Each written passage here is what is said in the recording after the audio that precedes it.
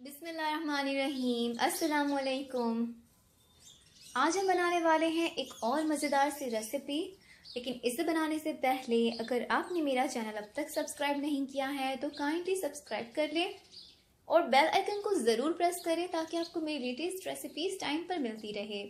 तो ये देखिए, आज हम बनाने वाले हैं मज़ेदार से फ्राई चिकन बटरी कबाब तो इसके लिए हमें चाहिए 750 ग्राम जितना मैंने बोनलेस चिकन लिया है और इसी के साथ दो प्याज लेने हैं, कुछ मिर्चें लेनी हैं अपने टेस्ट के हिसाब से और इसी के साथ हम लेंगे छोटा सा अदरक का टुकड़ा और एक नींबू लेंगे हम।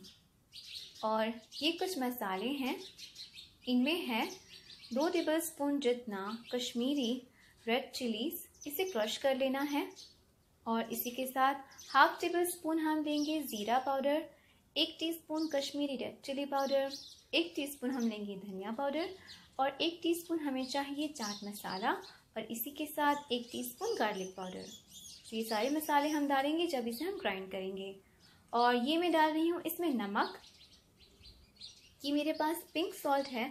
आप चाहें तो नॉर्मल वाला सॉल्ट भी ले सकते हैं। अपने टेस्ट के हिसाब से हम इसमें डाल देंगे। और इन सारी चीज़ों को हम अच्छे से ग्राइंड कर लेंगे। तो इसका कीमा हम तैयार करेंगे, बहुत ही महीन हम इसे पीस लेंगे। तो प्याज और मिर्चें मैंने डाल दी है और अदरक भी डाल दिया है। और ये नींबू जो है, इसका रस हम इसमें डाल देंगे। इसे डालने के बाद हमें इसमें ये सारे पाउडर मसाले जो हैं, ये डाल देने हैं।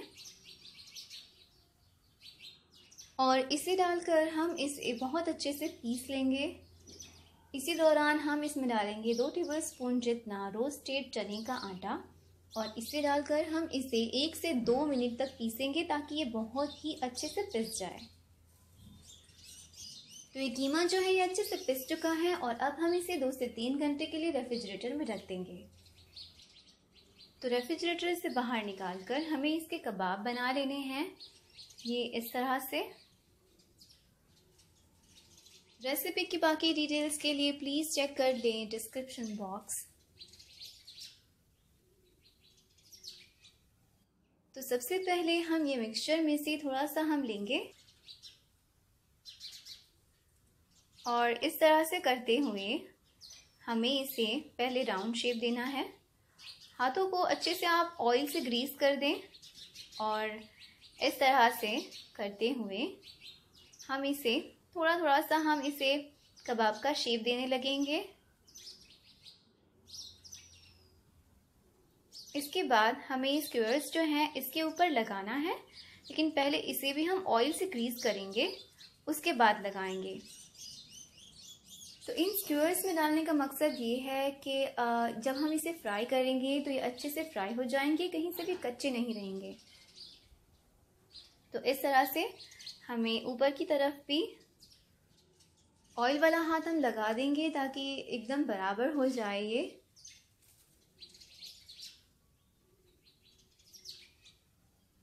और इसे बहुत ही धीरे से, हल्के हाथों से निकाल लेना है। और इस तरह से करते हुए हम ये सारे कबाब बना लेंगे। अगर आपको ये प्रोसेस स्किप करना है तो आप स्किप भी कर सकते हैं। आप कोई और शेप में बनाना चाहें तो उस तरह बना के इसे फ्राई कर लें। और इन कबाब्स को जब आप निकालें स्ट्यूअर्स पर से तो बहुत ही जेंटली आराम से निकालना है, ताकि ये टूट ना जाए, क्योंकि ये बहुत ही सॉफ्ट हैं। तो ये कुछ बना लिए हैं मैंने, और अब हम इसे फ्राई कर लेंगे। एक के बाद एक हम बहुत ही आराम से जेंटली इसको रखते जाएँगे और इसे हल्की आँच पर हम फ्राई करने वाले हैं। गोल्डन ब्राउन होने तक हम इसे फ्राई करेंगे। तो ये देखिए अब हो चुके हैं ये फ्राई अच्छे से तो इसे हम निकाल लेंगे। और इसे निकालने के बाद हमें इसे एक बाउल में डाल देना है। और सर्व करते टाइम हम इसे ऊपर से डालेंगे। दो टेबल स्पून जितनी घर की मलाई या तो फिर आप क्रीम भी डाल सकते हैं। और मैं इसमें डाल रही हूँ सिक्सटी ग्राम जितना बटर आप चाहें तो ज़्यादा भी डाल सकते हैं। और ये है हाफ़ टी स्पून जितनी क्रश की हुई चिलीज़ और हाफ़ टी स्पून हम डालेंगे चाट मसाला और इन सारी चीज़ों को हम अच्छे से मिक्स करेंगे। ये गरम ही है, इसलिए मैंने मेल्टेड बटर नहीं डाला है।